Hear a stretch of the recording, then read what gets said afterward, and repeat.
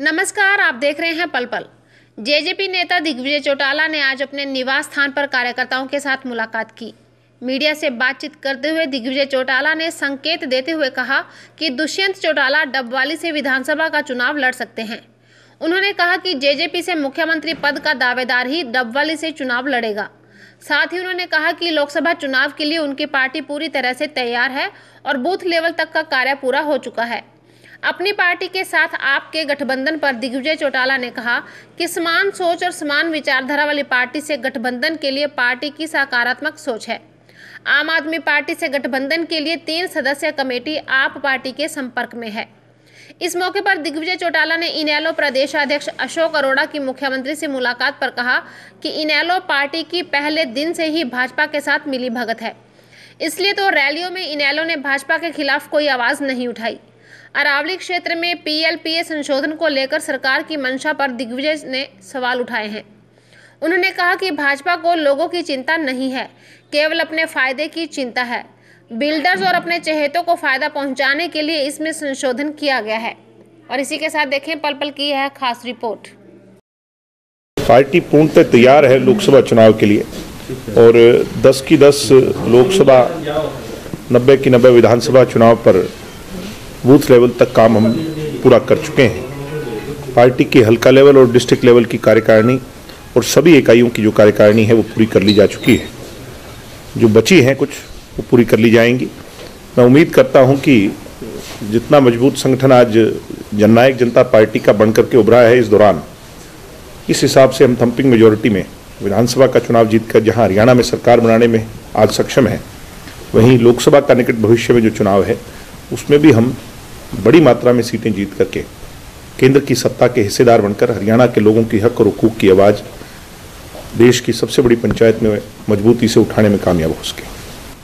आने वाले भविष्य में मैं ये मानता हूँ कि ऐसे लोग जो आ, लोगों के भले के लिए समाजवाद की विचारधारा पर गरीब और किसान कमेरे की सोच लेकर के साथ चलने को तैयार हैं उनको हम साथ लेने को तैयार भी हैं। उनको ऑन बोर्ड लेकर के हरियाणा में और केंद्र की सत्ता में भी एक मज़बूत किसान कमेरे की आवाज़ बनने को तैयार है और बनना भी चाहिए। जहाँ तक आम आदमी पार्टी के साथ विषय है, इसको लेकर के पार्टी की तीन सदस्यीय कमेटी जो है, वो फैसला लेगी। वो लगातार आम आदमी पार्टी के जो कमेटी के लोग हैं, उनके साथ संपर्क में है और मैं उम्मीद करता हूँ कि कुछ सकारात्मक फैसला जल्दी होगा। देखिए, दवाली जो है, वो हमारा गृह क्षेत्र है और इस क्षेत्र में जो पिछड़ापन है लगातार, यहाँ के लोग सत्ता से बहुत दूर रहे।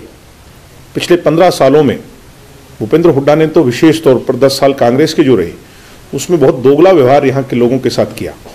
और अब इन पाँच सालों में भी जो पिछड़ापन है, चाहे हमारे इलाके के अंदर नहर की बात हो, चाहे हमारे इलाके के अंदर इरिगेशन पानी की बात हो, चाहे यहाँ पर नौकरियों की बात हो डेवलपमेंट की बात हो, हरियाणा में अगर अव्वल नंबर पर पिछड़ापन बीजेपी ने अगर किसी को नज़रअंदाज किया तो इस क्षेत्र को किया।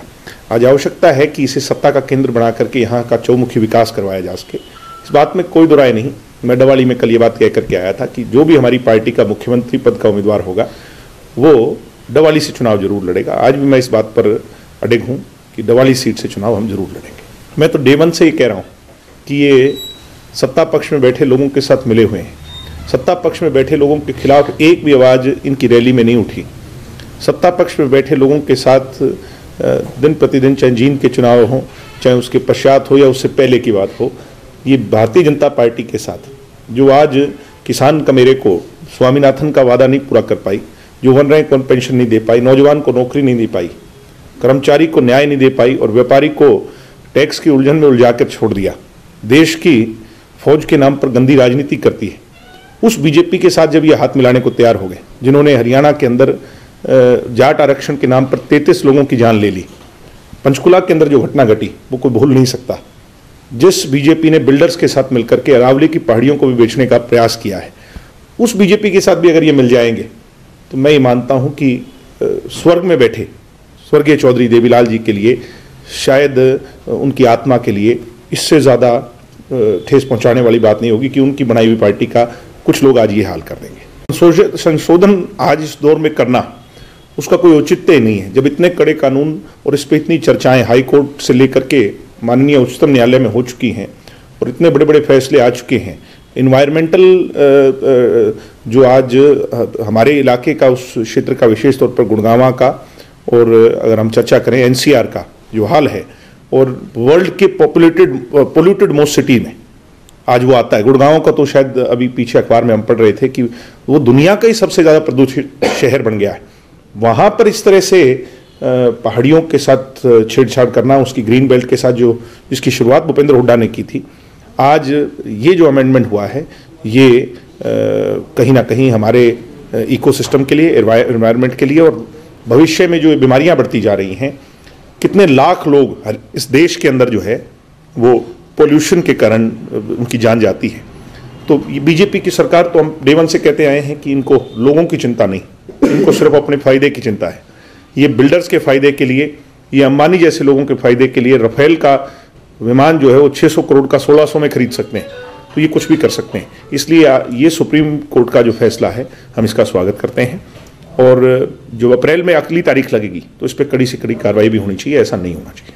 कल जो कैबिनेट ने फैसला लिया है कि सात सौ तेईस परिवारों को जो हाउसिंग बोर्ड में शिफ्ट किए गए हैं उनको ओनरशिप दी गई है। नहीं हाउसिंग बोर्ड के जो फ्लैट्स हैं जिसको हम ये इस नहर के साथ में जो बने हुए हैं इनके तो बहुत खस्ता हालात हैं।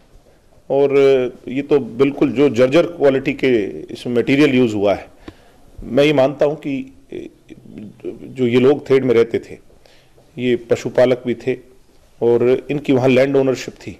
मैं मानता हूँ लैंड ओनरशिप के हिसाब से इनको प्लॉट आवंटित किए जाने चाहिए। ये फ्लैट देने से काम नहीं चलेगा। अब अपने पशुओं को फ्लैट्स में लेके थोड़ी रहेगा। ये तो बड़ी दुर्भाग्यपूर्ण बात है, इसकी हम कड़ी निंदा करते हैं। और उम्मीद करते हैं कि सरकार जो है इस पर फैसला ले और इन्हें प्लॉट देने का काम करे।